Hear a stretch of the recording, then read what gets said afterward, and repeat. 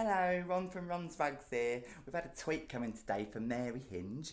Mary says, uh, My boyfriend says my pubes are too long and he wants me to shave them all off. I don't know what to do. What are my options? I've never shaved my pubes off before and I'm worried it's going to get cold. Well, firstly, Mary, just because it's hairy doesn't mean it's scary. But failing that, we've got some options available for you. Firstly, we could uh, trim it down, give that nice like short afro look that's very in at the moment. Give you some styling cream, you know, that just tidy it up and sort of keep it in place.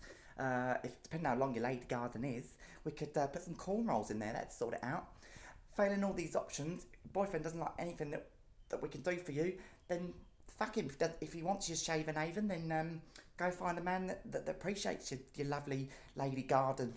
And that goes for all you other women too. All you women out there that have got this overgrown bush going on and you and you just want to let it go wild, then do that, girl, you know.